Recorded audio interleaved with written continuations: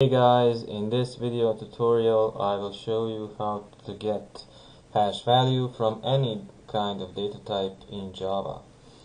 So if you're not familiar with what hash function is, in a nutshell hash function is a one-way function. It is any function that can be used to map data of arbitrary size to data of fixed size. The values returned by a hash function are called hash values, hash codes, hash sums, or simply hashes. One uses data structure called a hash table, widely used in computer software for rapid data lookup. Hash functions accelerate table or database lookup by detecting duplicated records in a large file. They are also useful in cryptography, uh, cryptographic hash functions, allow one to easily verify that some input data maps to a given hash value, but if the input data is unknown, it is deliberately difficult to reconstruct it. So enough theory talk, let's get down to business, okay? We will create new Java project and we will call it hash functions, okay? Now we will create java package. We'll call it just hash. And inside it we'll create java class. Then we'll call it same as the package hash functions. Let us take this. So the main method would be generated. Okay now first thing first we need to import two java classes. So import java security dot okay? And second import will be from package javax xml bind dot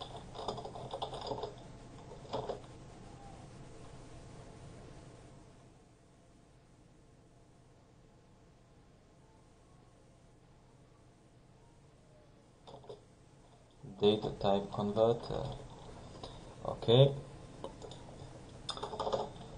Uh, as you can see in the Oracle Oracle uh, website in Java 8 uh, there are few uh, algorithms that can be used in message digest class for creating hash functions. So each one of these functions gives different results and the results uh, differ in uh, characters and the output length. So the shortest is the MD2 and the longest is the SHA 512 so as you can see there are some explanations here.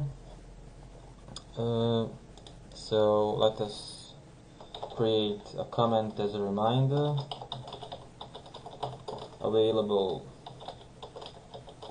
Algorithms are MD2, MD5, SHA1, SHA224, SHA256, SHA384, and SHA512 so after this we can create a method.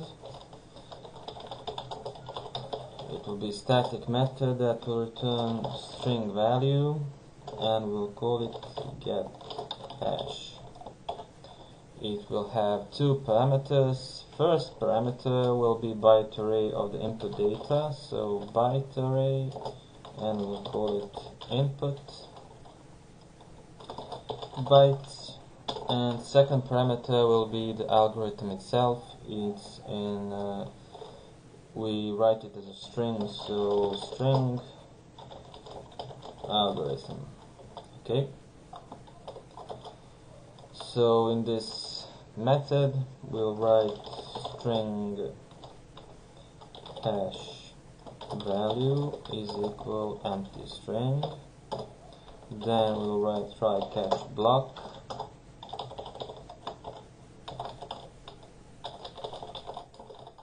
e and then we'll return hash value. So in this try block first we need to create a message digest object. So message digest message digest is equal to message digest dot get instance. Okay and we will pass the algorithm as a parameter.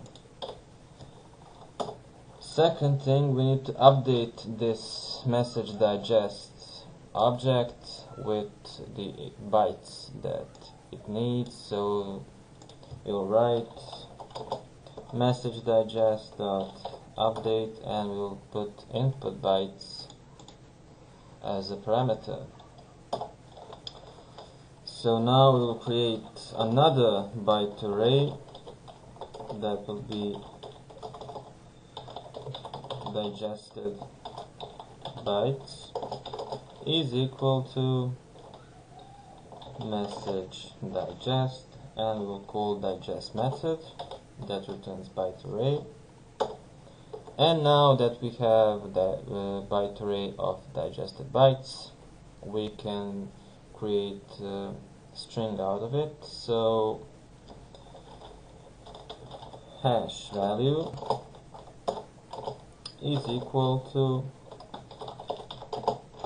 data type converter dot print hex binary and we pass the digested bytes as a parameter. Uh, print hex binary returns string so we can call built-in string method to lowercase. Because print hex binary prints uh, returns string as an uppercase. Okay and usually the hash values are represented in a lowercase.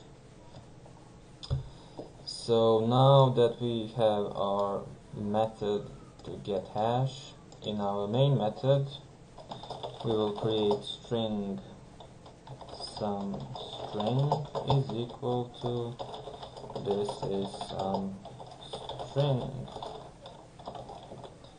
okay and now if we want to get a hash value from this string some string. We will system dot out dot print line. And we will just call this get hash. And now some string dot get bytes. And the algorithm can be any of these let's say sh1 sha1 okay. Now let's save this and if we run this we get the hash value.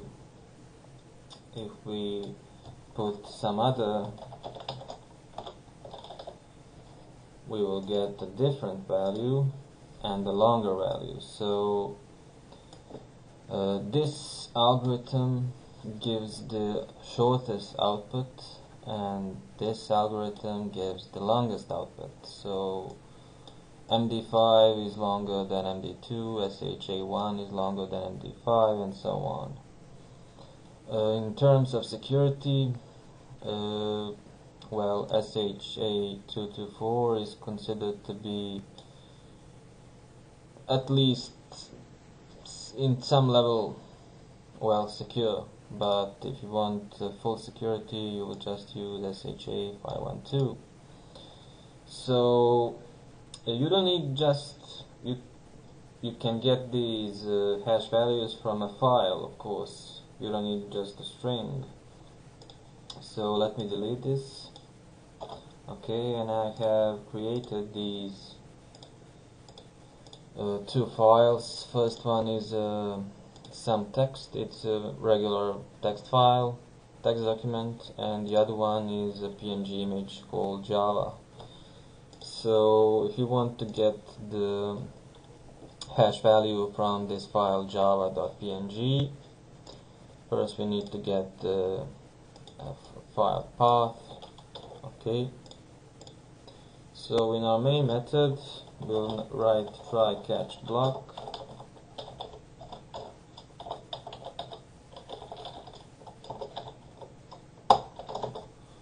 okay. And now we'll say file. Image is equal to new file. And we will pass this. Then we need to put double slashes instead of single ones. And to put the name of the file java.png okay. And then we need to fix the import say import file. File class. Okay. So then we need to get the bytes from this image file. We'll create byte array object. We'll call it image bytes is equal to files dot read all bytes image to path okay and then we need just to call this method system dot print line and we will say get hash